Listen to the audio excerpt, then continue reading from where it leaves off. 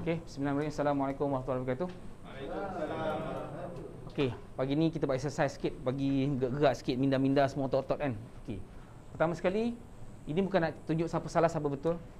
Ini lebih kepada satu level nama dia awareness. Because kalau kita nak berubah, kan, kita kena sedar yang kita kena berubah. Sebab tu nama dia awareness before change. Kita kena accept dulu. Kita kena accept yang kita kena berubah. Kan? Itu nombor dua. Lepas tu baru kita ubah. Lepas kita ubah, insya-Allah kita akan dapat apa yang kita nak. Insya-Allah. Kan? Apa-apa hal pun mesti bergantung kepada Allah punya keizinan sebab kita tak mampu. Okey. So, as aware, accept, alter, then insya-Allah you akan achieve. Tapi sebelum tu, sekarang ni saya nak bagi pada tiga bahagian.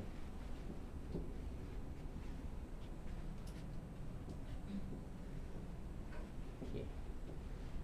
You pergi depan seorang-seorang kan? Kertas yang you ambil tadi tu You tampal Kat mana benda tu? Sama ada attitude punya hal Skill punya hal Ataupun Knowledge punya hal Yang disampaikan tadi tu Yang you tulis tu kan? Ha, sama ada attitude Skill ataupun Knowledge ha, Seorang-seorang Seorang-seorang Li ha, Kita tampal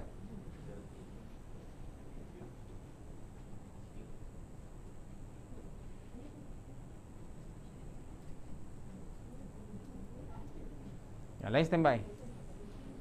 Ada yang kat sini? Okey, next. Kawan kawan kawan, move move move. Ha? Okey, so so apa yang perlu? Ah, ha, kau perlu pada okey tu. Terima je apa yang orang tindas, ke? Bangkit. So bangkit tu kat mana? Ah, ha, tepi dah titik. Discovery. Apa maksud discovery ni? Siapa tulis? Siapa? Farah. Nora. Nora. Apa maksud you discovery? Discovery maksudnya you discover yourself apa yang you able to do. Then Then gain knowledge. Ah, skill skill nak discover ke? You kena ada skill untuk discover ke ataupun Itu betul. But you have to know first lah. So knowledge dulu lah. Okey. Upgrade pampasan diri. Pentingnya TPD. Masyarakat ini kejam, tidak. Lain, lain, lain. Family first.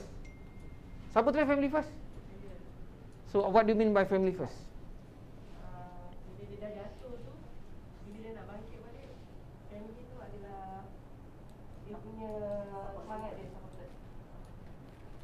So maksudnya you kena tahu ilmu berfamily ke macam mana? Kena ada skill berfamily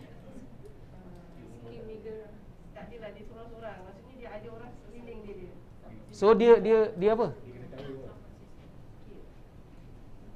Dia believe dengan family dia is it? Ha. So cerita pasal believe lah. Believe kat mana? Nice.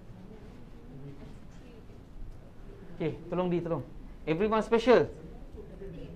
Yes, everyone special. Skill lah. Maksudnya dia ada skill. Masing-masing ada skill masing-masing. Fokus pada solution. Attitude Dekat skill lagi lah ha, eh. Tapi banyak kat mana? Hmm, pindahkan. Keep mingle with positive people.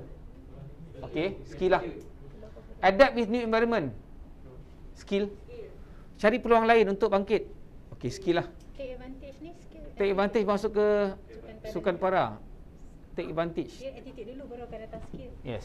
Kan? Ah. Baru dia masuk sukan tu dia ada training. Tapi Ah, dia sebab tu is attitude. sebab dia tak boleh nak dia tak boleh nak tiba-tiba terus ada skill dia mesti ada eh kan sebab you nak you nak move daripada normal punya sukan ni kepada paras punya sukan ni sudah ada easy tau Yes. kan orang yang dah main bola lama-lama pun boleh tendang tendang tendang busut kan tendang tunggul kan ha dah lah first game masuk 5 minit pop tendang busut terus sakit ha. Tak masuk. eh. Okey. Upgrade, discovery, okey. Uh, ni apa ni? Hargai peluang yang ada. Hargai. Appre- appreciate. Kat mana? Okey, pindahkan. Cari pengalaman baru. Ah, skill ni. Find support system. Ah, skill juga ni. TPD protection. So, so now kita tengok. Kan? Dia nak bangkit daripada eh dia dia selebriti tau. Kan? Jatuh naik balik. Masa kat jatuh dia cakap tadi apa? Dia pernah makan nasi tahu garam dengan dengan pipe. So maksudnya dia dekat rock bottom tau. Rock bottom dekat bawah lah. Dah tak ada nak dah tak ada dah tak ada dah. So apa yang dia boleh buat kalau dia dah kat bawah dah? Dah kat lantai dah ni. Apa yang dia hanya mampu boleh buat? Dia just boleh bounce saja. Dia tak boleh turun lagi dah sebab dia dah dekat rock bottom. Faham tak? Okey. So apa yang diperlukan untuk you bangkit? Apa kita punya tema Bobo ni? Bounce back. Back on track. So, apa yang kita perlukan untuk bounce back? Change your attitude first. Kita perlukan right attitude. Sebab tu dalam EFT class kita ajar 90% 5% 5%. Okey. Ada orang ada orang pernah challenge. Betul ke cik? Kan? Saya rasa equal. 30 30 40 macam itulah ataupun 35 33 33 33. Tak apalah. Okay, now you tahu ke saya nak buat macam ni? Tak tahu. So this is eksperimen pagi ni. Kan? True enough, memang kita perlukan ini yang you dengar daripada orang yang memang real lah. Kan? Bukan orang yang fake. Bukan orang yang dia bagi ceramah everything tak. Dia memang lalui. Sebab dia kena betul-betul lah. Belum tentu orang lain yang siap walafiat even saya ke siapa-siapa pun yang bercakap ke depan ni belum tentu boleh bangkit macam dia. Tapi dia dah buktikan. Okay. Sebab tu saya cakap nombor satu betulkan kita punya attitude. Kan? Sebab tu saya cakap ini bukan nak tunjuk siapa salah siapa betul tau, bukan. Ini nak tunjuk apa yang betul, apa yang tak betul. Dan apa yang kita kena betulkan. From now on, moving forward. Dan kita kena jangan kita seorang katalah kita dah betul, kita dah ada right attitude. Kita nampak kawan kita ni masih belum lagi. Kan? Kalau kat sini saya nampak last uh, Monday kita cerita pasal apa? Working in silo. Kita dah okey, kita biar je member kita okey. nak tegur tak sampai hati, nak tegur takut kawan kecil hati, tu tak betul. Kalau kita tahu yang tu is not right attitude, kita kena tegur. Kita kena tegur bukan sebab kita benci dia. Kita nak tegur dia bukan sebab kita tak suka dia. Sebab kita suka dia, kita sayang kat dia lah, kita kena tegur. Kan? Dan kita pun kenalah juga orang kata terima untuk ditegur. Jangan kita pula yang dah tahu kita pun tak betul lebih attitude, orang tegur, kita pun eh tak accept. Boleh? So kita nak ada culture yang macam tu sekarang ni. Culture yang yang kalau tak betul tegur. Yang yang ditegur, eh betul lah. Betul lah aku aku sebenarnya betul lah ni. Aku berubah. So maksudnya sekarang ni kita kena accept. You jangan tak boleh you nak salahkan dia, salahkan dia tak boleh. Kan saya cakap, jangan tengok siapa salah, siapa betul. Kita masalah sekarang ni, kan? Saya tak nak cerita kat luar lah. Kat dalam ni dulu kita betulkan. Sebab kat dalam ni kita boleh kon control. I focus on circle of control. Jangan tengok siapa salah siapa betul. Kalau the moment you tengok siapa salah siapa betul sampai bila-bila pun tak habis. Why? Sebab apa? Siapa boleh garanti dia betul? Siapa boleh garanti dia tak buat salah? Itu nombor satu. Tak boleh garanti. Manusia memang buat salah. Sebab tu jangan jangan fokus kepada siapa salah, siapa betul. Kau ni salah kau lah, ni salah aku lah. Eh, tak boleh. Ya? You kena tengok. Bang, ni tak betul ni bang. Kan? Sebab tu kalau kita nak tegur, sebab tu saya cakap, kalau saya yang buat salah, you kena tegur sebab saya buat salah. Kalau katalah benda tu salah, sebab saya manusia. Ya? Boleh?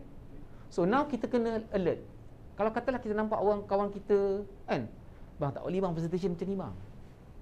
Sekarang ni bukan zaman presentation uh, nak buat 15 kena jumpa orang. Sekarang 15 boleh online, boleh macam-macam macam-macam cara lah. Kan? So keep on uh, orang kata remind each other. Ha, tengok kalau member lagi tak ada case lagi tanya, bang ini berapa case? Oh tak ada lagi abang. Ish, tak boleh bang. Dah hari dah hari, hari Rabu dah. Sebab tu hari dua, dua hari ni kuang-kuang pun dah dah dalam kolej ke apa ke. Kan? At least weekend boleh boleh follow up. So kita kena ada feeling yang macam tu. Bukan manager yang tanya tau. Ini kawan-kawan ni. Sebab kita datang sini tak ada satu pun kata kat sini bukan macam saya nak berjaya tengok you gagal bukan. Kita kat sini ikut opportunity. Kalau you kerja company yang mungkin position tu satu, you terpaksa fight untuk that position dan you terpaksa terpaksa tunjulkan diri you dan tekan orang lain. Tapi kat sini tak ada. Kat sini kalau kata kelas star club semua mampu dapat star club. Dia tak adalah star club macam dulu. Dulu star club ada ikut ranking. Oh. Tapi sekali tu je dia buat. Sebab apa? Sebab bila orang rasa macam tak boleh tak boleh pergi, dia terus okeylah suruh tarik handbrake. So end up sebenarnya ramai yang tarik handbrake. Bila dia open balik, masing-masing ada equal opportunity.